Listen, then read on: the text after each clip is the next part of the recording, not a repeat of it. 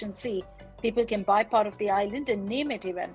Its construction was started in 2003 and was completed in 2008. But due to the financial crisis of 2008, these islands weren't bought by many. Now it's just abandoned pieces of land. Is this the cutest island or what? The island is filled with rabbits all around. This place is known as Okushima Island. But let's tell you that behind this cuteness, there's also a dark past. During World War II, this island was built to develop poisonous gas to attack China. Due to the poisonous gases, more than 80,000 soldiers of China died. This island was a secret, and Japan even removed it from the map at that time. Now, this island only has a museum here with many of these cute creatures. It's said that these rabbits were left here by a school and then multiplied into a bunch of them. You know, Maldives is a beautiful, fancy island, but beyond that lies a waste island. It was built to get rid of the waste that was covering the island, and every day around 700 tons of waste was generated. When it was burnt, it would pollute the island and affect tourists. To solve this issue, they made this island. But many believe that it needs to get rid of this waste that's polluting the clean water. These are the five weirdest islands that we found on Earth. Do you know about any others? Let us know in the comments.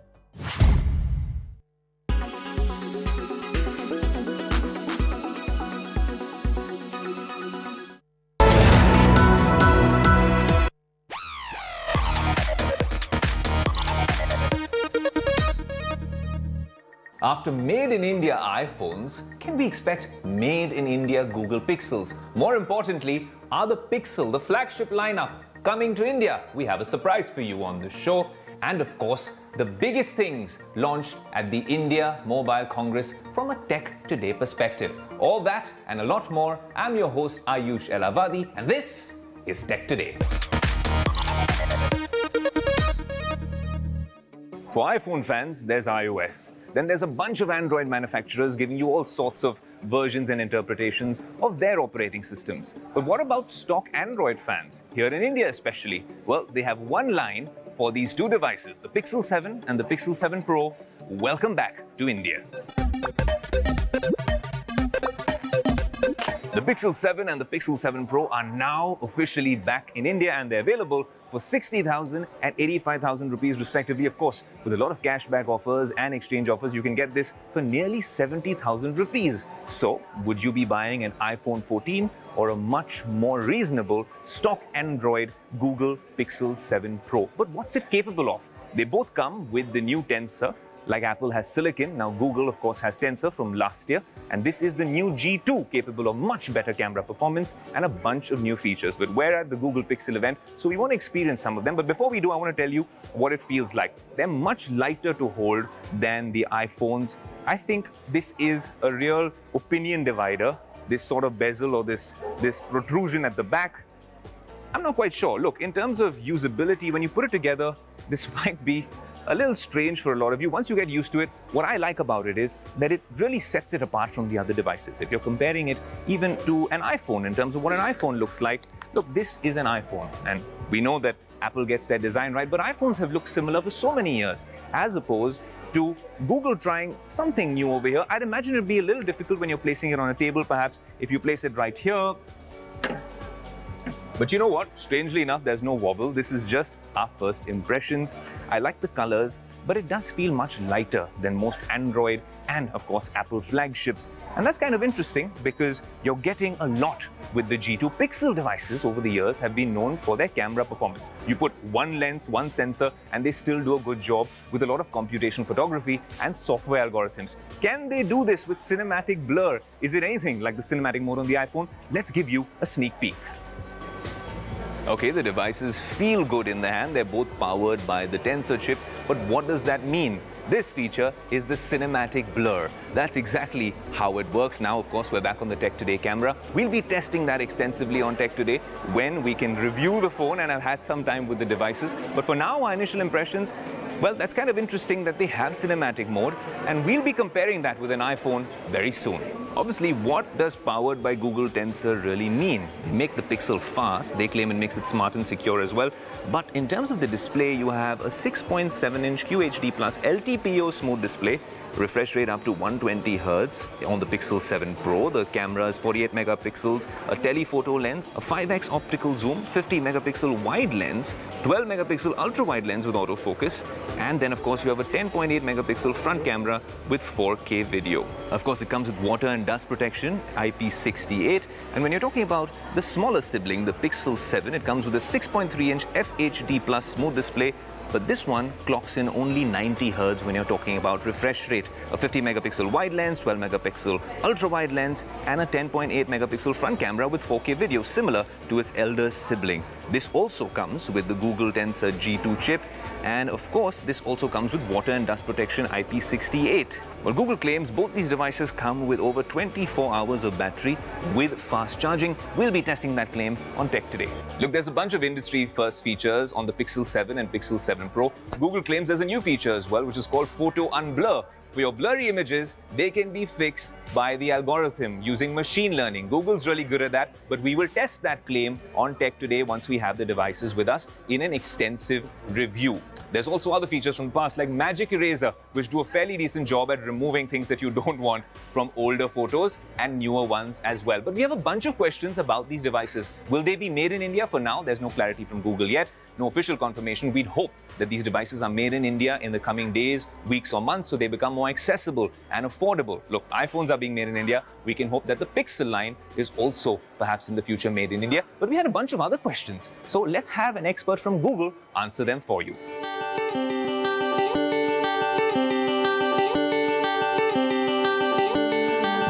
Pixel lineup is finally here and it's launched in India. Google Pixel fans will be very happy. We're at the launch event here in New Delhi and I have with me a very special guest, Sonia from Google. Sonia, what a pleasure to have you on Tech Today. Thank you. Thank you for having me. Sonia, the Pixel 7 and the 7 Pro are here. There's a mixed bag of reactions because we still want the Pixel watch. But, but what's the whole genesis of the idea of bringing the Pixel lineup back to India? Yeah, Pixel, uh, India is a very important market, not just for Pixel, but for Google in general. And so we're super excited to be back here with these amazing two new devices. Okay, I'm going to geek it out, right? Uh, there's several features that will launch at the global event with the Pixel watches as well. A lot of Fitbit integrations coming in over there, and I think users would benefit with some of them. So is that something we can see with the Pixel Watch building into the future trends where you can really synergize and build on the Google ecosystem? So in general, I think Rick talked about this in, in his uh, keynote last night. Right? We have a really big vision around ambient computing and you as a user having the computing power you need where you need it, when you need it, and in the form you need it in. And so you're going to see more and more synergy between our Pixel products. Okay, so last question.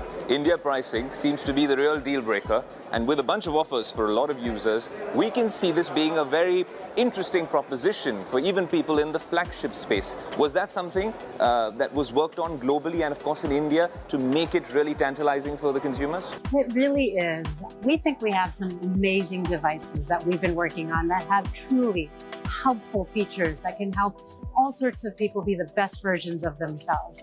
And to enable that and to enable users to try it out, we've put some attractive pricing on our devices. I'm hoping that people will try it, check it out, experience it and enjoy it. There you go, making your lives a whole lot easier with technology. That's what we do on Tech Today as well. Sonia, what a pleasure to have you with us. Thank you. 5G, 5G, 5G. That's been in the news so much, especially because of the launch of the technology at the India Mobile Congress. And rightly so, we're bringing you all the latest and the greatest from the IMC in the second half of the show. But the conversation on 6G has already begun in the corridors of government and in the private sector with chip makers as well our managing editor at Business Today TV, Siddharth Zarabi, caught up with the president and CEO at Qualcomm, one of the biggest chip makers in the world, Cristiano Amon, and here's what he had to say. I'm aware of the fact that you have a long pipeline of products uh, that are always in development. I don't know what you can talk about, but the Prime Minister recently, just a few days ago, spoke about 6G. So we are still waiting for 5G to sort of change our lives. What is 6G and what sort of role is Qualcomm going to play in that? Well, uh, as you'd expect, I think uh, Qualcomm will be very active in the development of 6G. We already are. I think we usually start developing a technology about 10 years before it gets deployed. So uh, we, we're already active in 6G. And I think 6G uh, will be likely a natural evolution of 5G. However, uh, while we all moving towards the next generation of wireless, 5G will stay here for a very long time. And especially because 5, 5G is going to touch so many industries. One of the things we saw in the past is many of the technologies and inventions that are being developed for 5G also end up being applied to 4G. And you saw things like 4G Advanced. Now we're talking, for example, about 5G Advanced, which is going to be a mid-cycle upgrade of 5G, which will have some elements of te techniques and inventions that are part of 6G. So we're going to see some overlap between the two technologies, and I expect uh, 6G will probably will become a reality at the end of the decade. 5G, 6G, connected cars, smart ambulances, immersive viewing experiences, something called the metaverse. That's what we want to showcase from the India Mobile Congress on the other side of this commercial break. Don't go anywhere.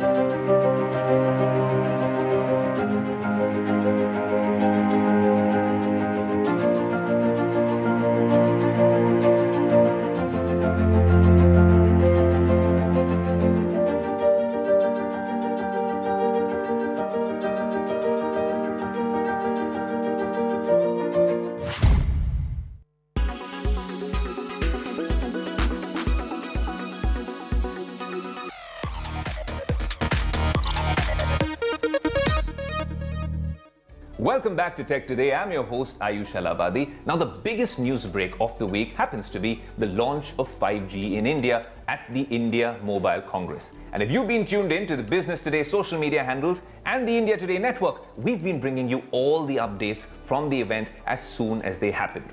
But we've had some time to compile all of them together and bring you the landmark event, the launch of 5G at the India Mobile Congress and all the coolest inventions that we saw at the event from a Tech Today lens. Have a look. You know what? I haven't taken a vacation in years. I've never seen the Taj Mahal. But here at the India Mobile Congress in the Nokia booth, I'll be able to experience Taj Mahal in its magnificence. So I'm going to strap this on and I'll be able to see the Taj Mahal.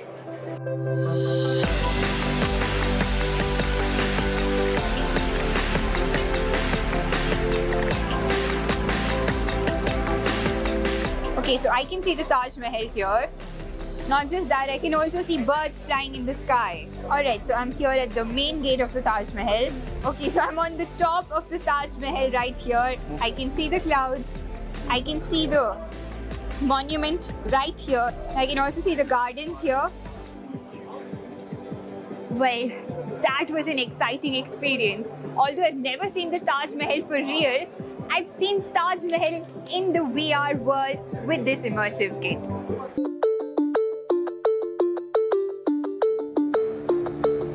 Never shoot whilst driving. That's the golden rule of TV. But I'm not driving an ordinary car. I'm here at the Ericsson booth at the India Mobile Congress. And what I find fascinating is that I'm driving a car a few thousand kilometers away in another country, in the lovely country of Sweden. I press the gas pedal and boom, the car starts moving. Look, I, and that's exactly what I did. This is happening in real time, guys. If you have a look at the screen, I'm going to try getting out of here. And why are we talking about this today on Tech Today? Well, essentially, I'm going to press the brakes and give you a little bit of an explainer. We're talking about this because this is all possible via 5G networks. Low latency networks mean that the lag is always minimal when you're using these vehicles. And obviously, this is a lovely use case to demonstrate. On top, you can see an aerial view, a point of view, and then, of course, like you're playing a video game down over here. But you could do this in places where human beings cannot go. You could embellish this, add on more technology, maybe add more 4K cameras, thermal sensing, add a robotic arm to it as well. We've seen all sorts of robocons all over the world. This makes being in two places at the same time absolutely totally possible. And for me, this is mind blowing technology right here with this 5G autonomous solution.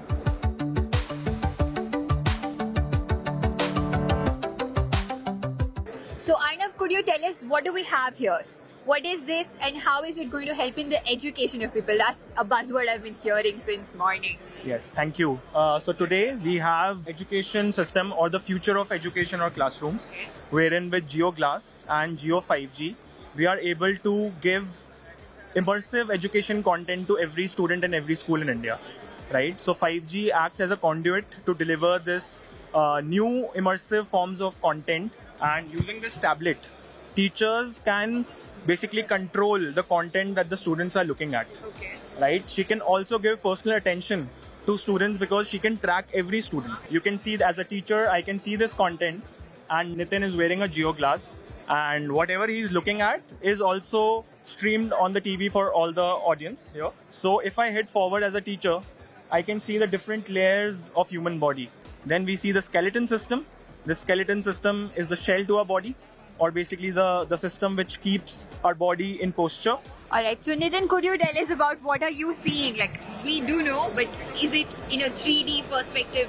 How is it? So I can see the heart right here, and I'm able to see all the uh, different parts uh, that have been highlighted. That sounds very exciting. I believe school lessons are about to get very interesting.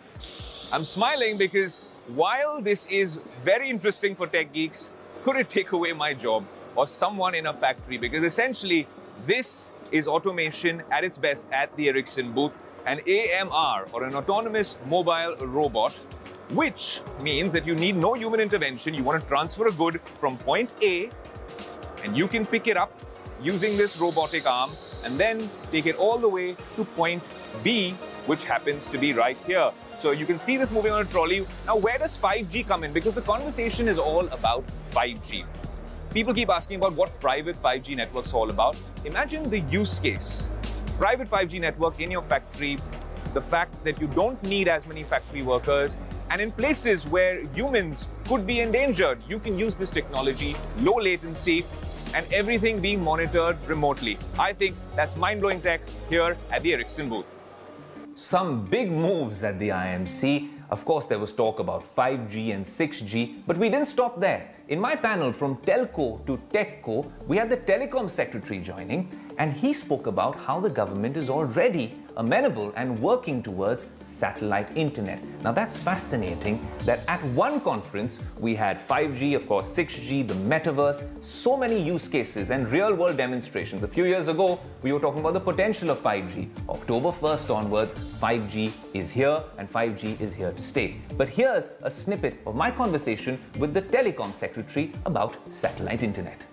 Mr. Rajaraman, it's interesting if we actually look at future proofing ourselves because in the technology world we always want to really forecast what it's going to be like i know the government's already been there's chatter about 6g and research on that generation as well and then something that's been hogging um, a lot of the news world and, and, and twitter really is all about satellite internet what are your views and the government's views on satellite internet here in India with its use cases and potential? And more importantly, the fact that a concept like that could leapfrog the current existing technologies. In a sense, uh, I mean, you refer to 6G. I mean, what we are increasingly seeing is, is convergence of technologies. So essentially, I mean, uh, going into 6G, I think you will find all these terrestrial, non-terrestrial networks all converging. So uh, from that perspective, um, building um, high quality resilient networks would require the con convergence because then if you have a mobile phone, I think one would expect that seamlessly, irrespective whether you are near a BTS or not, to give you the, the, the service.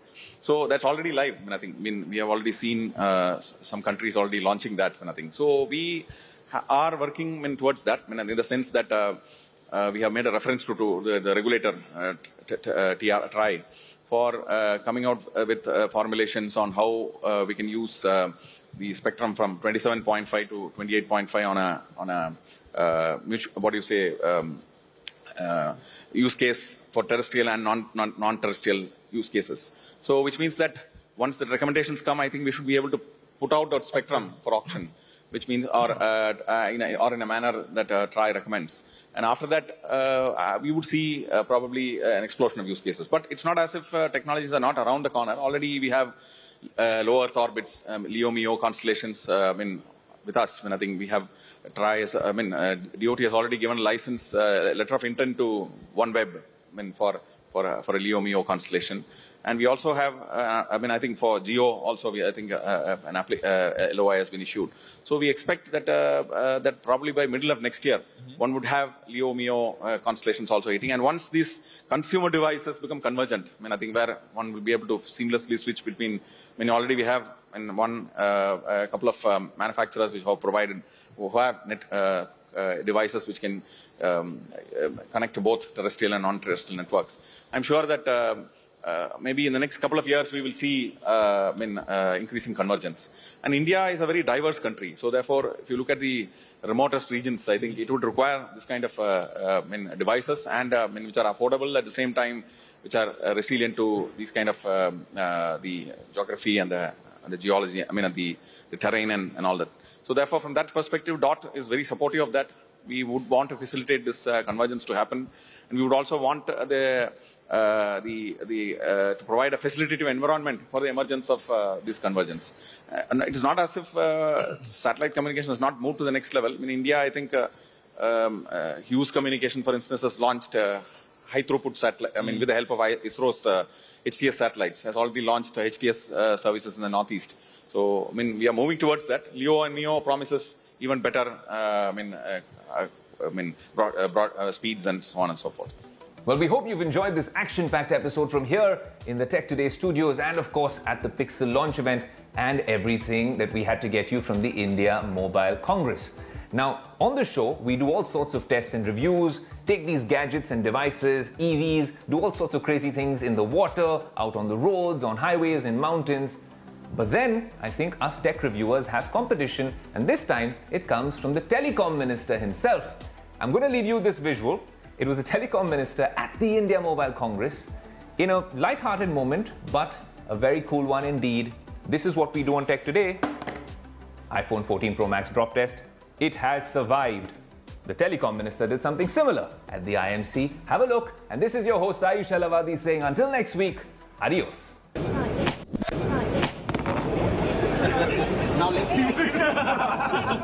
All good. So it's something it's uh, used for mining, construction work and all.